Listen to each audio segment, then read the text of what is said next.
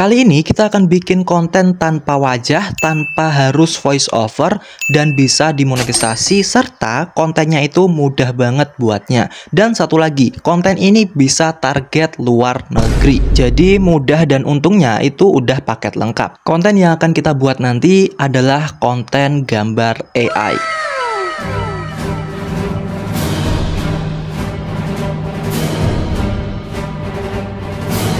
Video yang barusan kalian lihat tadi itu video dari channel Planet AI ini ya. Channel ini adalah channel yang mengusung konten yang bertemakan gambar-gambar AI terutama di video shortnya. Nah jika kalian lihat channel ini udah mendapatkan 252.000 subscriber dan channel ini setelah saya cek di sebuah website untuk ngecek status monetisasi sebuah channel YouTube itu aktif ya. Artinya channel ini sudah bisa menghasilkan uang dari iklan YouTube teman-teman ya. Nah, jika kita perhatikan di sini views yang paling populer dari channel ini itu 9,7 juta views di shortnya ya dan 7 juta views, 3 juta views dan masih banyak lagi di sini. Satu video aja ini 9,7 juta views ini udah e, menggambarkan bahwa channel ini sudah bisa mendapatkan syarat monetisasi pada YouTube Short-nya, yaitu 10 juta tayangan short ya teman-teman. Apabila kita cek di bagian video panjang, itu ternyata juga banyak yang nonton. Jika kita perhatikan ini satu bulan yang lalu ya, 300 ribu views, satu bulan yang lalu 228 ribu views, dan masih banyak lagi. Ini video panjangnya. Namun di sini kita akan fokus pada konten short dari channel ini. Karena konten shortnya itu menarik banget teman-teman bahkan bisa menarik perhatian dengan jangkauan penonton luar negeri ya. Karena kontennya itu benar-benar menarik banget. Kita langsung aja klik salah satu kontennya ya.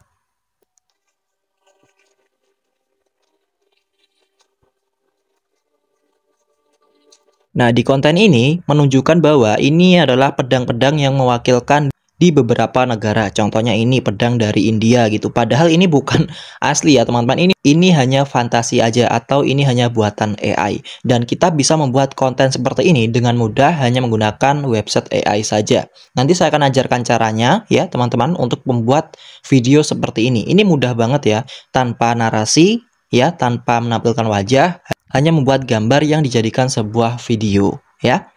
Karena tidak memakai narasi sehingga ini bisa mencangkup target audiens dunia atau bisa ke beberapa negara karena ini kan kontennya berisikan tentang monster-monster dari beberapa negara. Contohnya, ya ada lagi pedang-pedang dari beberapa negara. Intinya yang mewakili negara-negara gitulah hmm, teman-teman ya. Hmm. Jika kalian perhatikan di sini. Dan jika apabila kalian membuat konten seperti ini, itu juga bisa diupload di beberapa platform. Jadi nggak cuma di YouTube Short aja, bisa di TikTok, bisa di Instagram, maupun di Facebook. Gitu ya teman-teman. Jadi bisa double-double income kalian nanti apabila channel kalian atau akun kalian bisa rame atau bisa berjalan dengan baik. Oke langsung aja kita mulai untuk pembuatan konten seperti ini. Langkah pertama, kita akan buat promnya terlebih dahulu. Nah, untuk membuat promnya, kita bisa gunakan yang namanya Google Gemini. Ya, kalian bisa langsung cari aja Gemini AI kalau nggak Gemini AI seperti ini di Google. Kemudian kalian klik aja websitenya ini ya, Google Gemini ini.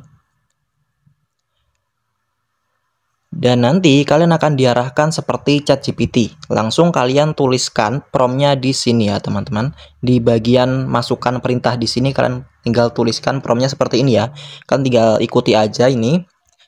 Uh, kalian bisa lihat. Saya ingin membuat video gambar AI dari Portrait Fantasy Monster Legendaris. Nah untuk monster legendarisnya ini kalian bisa ganti sesuaikan dengan uh, keinginan kalian. Misalnya kalian ingin membuat konten superhero dari beberapa negara ya kalian tinggal tuliskan aja superhero. Ganti monsternya ini dengan superhero. Karakter dari 10 negara. Karakter menggunakan kostum mitik dari ciri khas negaranya. Karakter bisa berupa manusia makhluk goib atau binatang dengan gambar background dari negaranya. Tuliskan saya 10 prom untuk gambar AI-nya dengan bahasa Inggris. Nah, setelah kalian sudah menuliskan prom seperti ini, kita lanjutkan dengan kirim.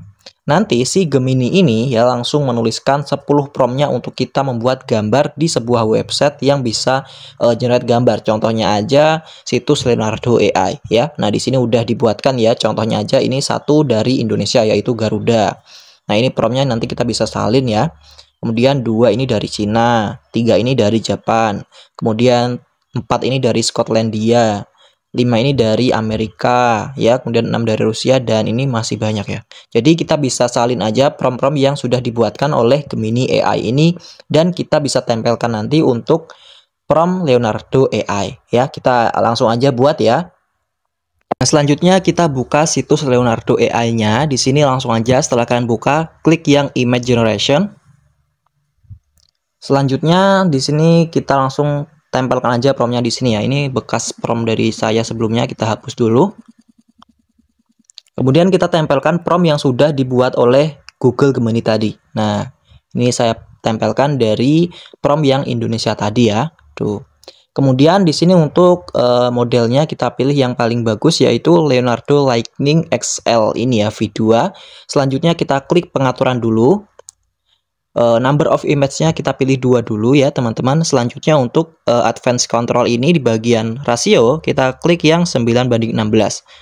Nah, selanjutnya kita kembali dan kita bisa langsung klik yang generate. Kita tunggu sampai uh, ini pembuatan gambarnya selesai ya. Nah ini udah jadi dan gambarnya realistis banget. Pertama dibuatkan sosok manusia yang menggunakan kostum Garuda. Kemudian yang kedua adalah monster yang berupa Garuda seperti ini ya. Nah kita bisa ambil yang bagus aja yaitu yang Garuda ini ya. Karena ini temanya monster. Kita download dan kita bisa langsung lanjutkan aja ya teman-teman ke prom negara berikut. Nah, kita bisa lanjutkan ke prom negara berikutnya. Tinggal salin aja ya yang bagian kedua ini yaitu Cina. Kita bisa salin promnya seperti ini. Nah, kita salin. Oke, kita pilih dulu ini separagraf, langsung kita salin, kemudian kita lanjutkan ke website Leonardo AI. Selanjutnya kita hapus untuk uh, prom yang tadi ya, yang prom Monster Indonesia. Selanjutnya kita tempelkan seperti ini. Nah, jika udah, kita langsung klik yang generate aja. Lakukan ini sampai semua promnya tadi udah jadi gambar atau ke generate gitu ya. Nah, ini Oke teman-teman, setelah ini kita bisa lanjutkan untuk editingnya atau proses pembuatan videonya. Nah untuk cara editingnya itu mudah banget, kalian tinggal buka aja aplikasi editing kalian, contohnya aja CapCut ya. Kemudian kalian masukkan aja beberapa gambar yang sudah kalian buat tadi. Kemudian di sini kalian tinggal masukkan ya uh, tulisan sesuaikan dengan gambar-gambarnya. Misalnya di sini monster dari Indonesia, saya tuliskan Indonesia seperti ini. Kemudian dari Cina saya tuliskan Cina seperti ini. Dan ini hanya menggunakan font-font biasa. Nah untuk transisinya saya nggak pakai transisi ya di sini nggak saya kasih transisi. Nah di awal ini saya masukkan gambar monster yang random ya. Kemudian saya tuliskan seperti ini ya eh, monster-monster legendary dari beberapa negara. Kemudian setelah seperti ini kita hanya tinggal beri yaitu background. Nah untuk memberi backgroundnya gimana? Caranya kita klik audio, kemudian pilih dari suara. Selanjutnya kita cari lagunya. Kemudian kalian tinggal tuliskan aja judul lagunya apa. Misalnya di sini saya akan coba ke genre pong ya atau musik dari Brasil yang sempat viral itu. Di sini langsung aja kita tambahkan dan kira-kira hasil yang seperti ini. Nah, untuk menghindari copyright, kalian bisa coba cek dulu untuk hak ciptanya. Klik hak cipta ini. Jika kita lihat di sini, Anda dapat mengekspor tanpa masalah. Artinya untuk hak ciptanya ini beneran aman ya, teman-teman. Seperti itu. Setelah ini kita tinggal ekspor aja karena ini udah dikasih background ya dan hanya seperti ini aja untuk kontennya teman-teman. Dan kira-kira hasilnya seperti ini.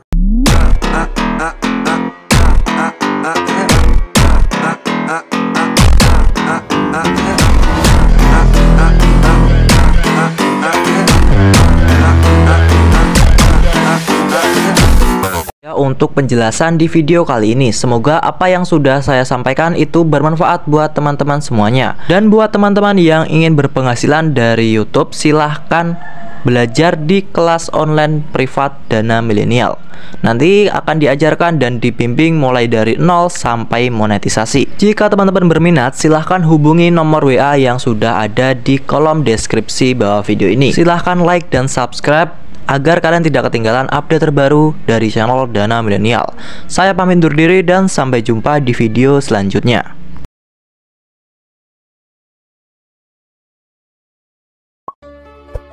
you